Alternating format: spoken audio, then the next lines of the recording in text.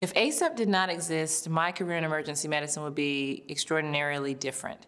It would lack focus and it would also lack the sense of belonging and family that ACEP has brought into my life.